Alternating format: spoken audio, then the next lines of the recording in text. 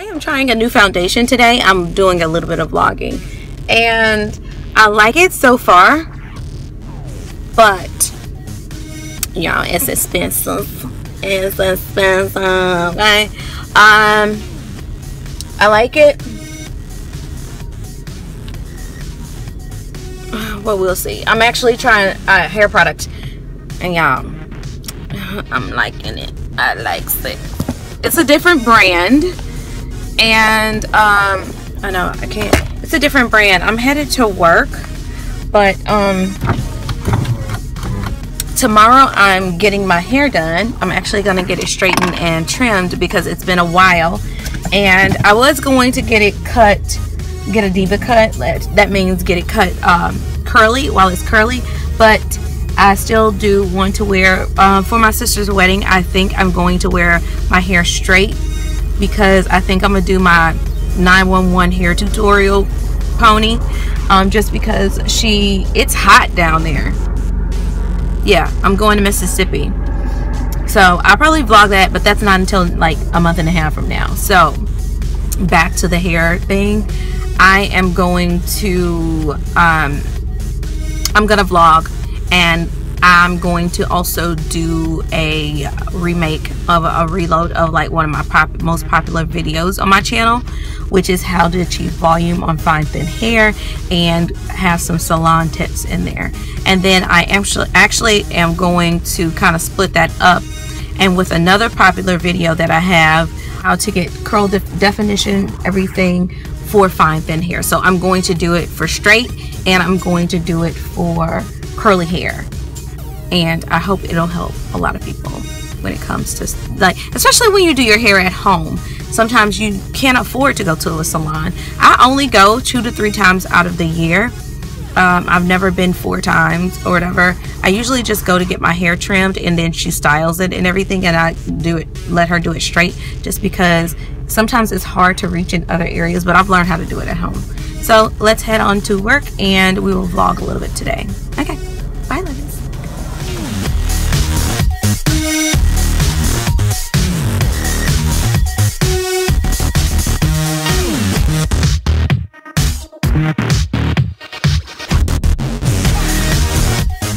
so I just got here.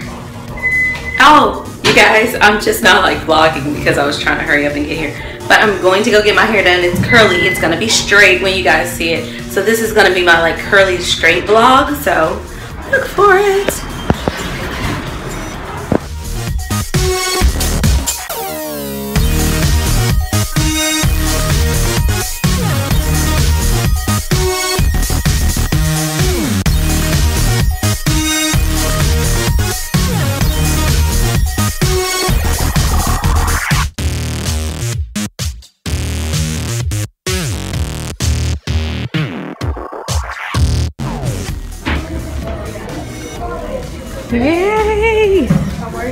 Is my beautiful stylist. Girl, you know I was gonna be vlogging today. Everybody was like, um, they were trying to contact me. and Was like, hey, are you gonna vlog? You getting your hair done? Oh, I love your shoes. That's funny. Thank you. shoe cam. I love it. Isn't she cute? Look at her hair. It was blonde before. I love it. Okay. My- look, my husband was like, um, are you gonna get something done in your hair? What are you gonna do different? Blue oil is like the best. Um, it's Paul Mitchell, but it, it, it's like a rare oily cleansing. It's really moisturizing for the hair. I've heard of the marula oil, but Yeah. I'm I use marula oil for my face. You do? Yes. Oh, like I guess argan oil you can use for your, you, your hair, and your our- face yeah, or because it's lighter. Mm-hmm. I'm not with the whole. I can't do the heavy stuff. Okay, so mar- I mean, for some hair, is you can, but every hair type, no, you can't do heavy oils. You know right, what I mean? Right. Especially because you're gonna blow dry today too. Mm-hmm. So we want a lather that's gonna kind of get rid of, you know, the oils that you previously have in your hair as well. Okay. Because you know how I feel about cold washing. So can you like share some tips of like uh, what are you doing now? So right now, um, I'm just you know cleansing her hair with the marula oil by Paul Mitchell. And the reason why marula oil is my favorite is because it's very moisturizing on the hair, but won't leave build up on the hair, which is what we want, especially because we're blow drying you out today, right? right. So I just want to get rid of, you know, most of the oil so that she has that flawless blow dry. But I'm just giving her a good cleanse. She conditioned. You say you conditioned last Mm-hmm. night. And then I did uh, about two or three days ago. I Mm-hmm. did the Curl Junkie Repair Me, which is that strengthening like ker- keratin. Oh, you know, like a whenever I blow, uh huh, uh huh. Whenever I blow dry my hair, Mm-hmm. and then I followed with a, uh, I followed with the conditioner after Oh, that, a deep conditioner after that. Mm-hmm. But you know how I am. I always like. I feel like that's one of the ways that I protect my curls Right. is like doing that even before I get here because, you know, protein treatment then a conditioning is just like I think me doing it at home is just saved me so much time and it's allowed you to really, you know, do the blow dry well and all that kind of stuff. I feel like those necessary steps, you know, you help me with that Right. as far as like, um, and that's why I feel like I go, I come less. Mm-hmm. I rather spend because you know sometimes on my channel a lot of people are like, "Oh, those products are expensive," but I'm like, I do salon work at home. Right. you know, mm-hmm. I I'm not one of those that go to the. If I'm not gonna go to the salon, I used to go every two weeks, and see that's the hairstylist maintaining my hair. Right. But if I'm doing it at home, Uh-huh. I'm maintaining it. You you're Right. you're doing the basically the how can I say the you're you're doing the maintenance. I'm doing the upkeep. Right. And so I'm willing to pay more money because just think, okay, so I'm coming to you what? Do I come to you maybe what three, may at the max four, Four. times out of the year? Yeah. At in re, you know in reference to like two times out of the two times out of the month that I was going, Right.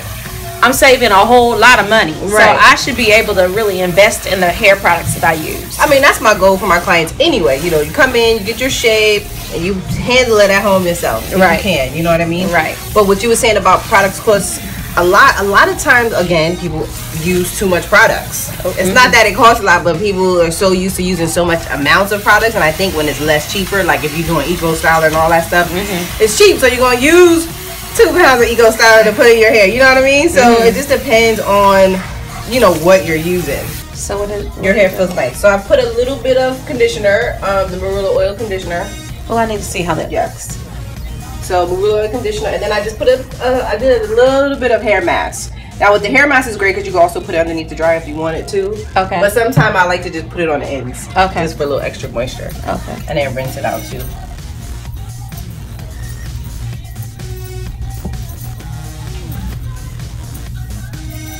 Shiny. Your hair feels good though. Yes, thank you. So, what are some? What do you think are some good like detox or clarifying? I always like to like Um, quiz. It's always Jeopardy when I come and see Keyonna and ask her about because I will go buy the things that she she suggests because those are the results that I want. Because that Paul Mitchell Marula smells good. What can I get that? Do I have to buy it You here probably, you can order it online. I think they might sell it at Ulta okay? Beauty Supply. I know they have it at like Planet Beauty and you know. Oh, they have it at Planet Beauty. They I have one it- right yeah. across the street They should it. have it at Planet Beauty. Okay. Um, I mean, it really depends on what you're trying to get out of your hair. Like as far as like, are you trying to get? Because I always feel like it, just a lather shampoo will get rid of excess stuff on your hair. You know what I mean? And that's the oh And it's- shampoo one. Uh huh. And it's also good for like you know trying to get rid of all the stuff because sometimes you know a lot of detox like Sunday shampoo is great, but sometimes it makes the hair dry, so you got to be careful. So what you is it often mo- a moisturizing shampoo? No, Like this for is me? not as moisturizing, but it's good if you want to like detox. Okay. you know what I mean? Yeah, yeah, yeah. We'll have to go. We'll have to go through Keyonna's uh her cabinet before we leave. One day I am going to get the gall to try and try a uh, try some color. I don't know, like One day you'll do it. One day. So I'm using this detergent on towel, which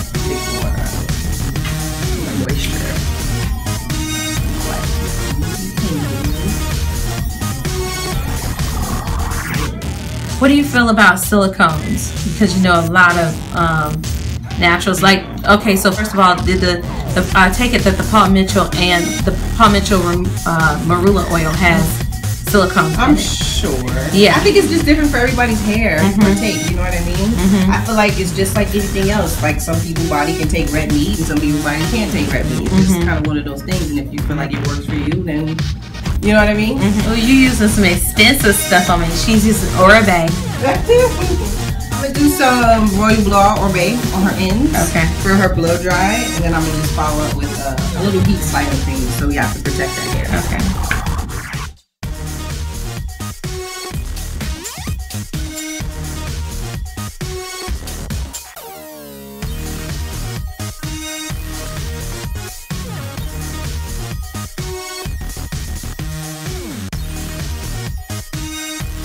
Smells like that smells like a cologne or something. Oh my goodness. Okay.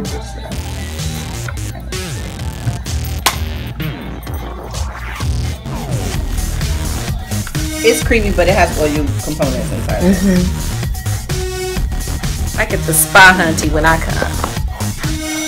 Hair spa. That's actually what she should have named this place. Here's my.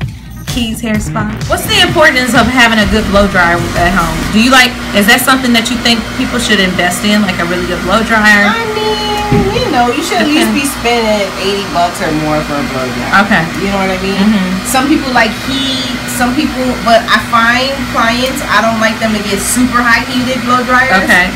Because they tend to Dry the hair out. dry the hair out, you know what I mean? Um, but you know, you want something with a little bit of power and some, you know, nice. You, you want fast and, you know what I mean? Mm-hmm. Do you know like the wattage or whatever they should get? I know sometimes it'll say like Like 1475 ISO. or Okay. something. Okay. I'm I'm a type of person who I probably go through like maybe two blow dries a year. okay. So for me, lightness is real key for me because Right. I've been doing hair way too long and I can't deal with all the heaviness. And when you straighten your curly hair too, you always want to make sure if you feel like it gets dry, you can always just spray some water in the front. Now I need this uh, hair mist. Where did you get that from? You can get this at um Naimies. Naimies. Okay, okay. You get that Naimies. They have it in white and black, and they also have a smaller size. Okay. So you miss it, and then keep going. You know what? My Febreze does that. I'm like, oh, I'm gonna have to get that. to attack the hairline first. Ooh, It smells so good.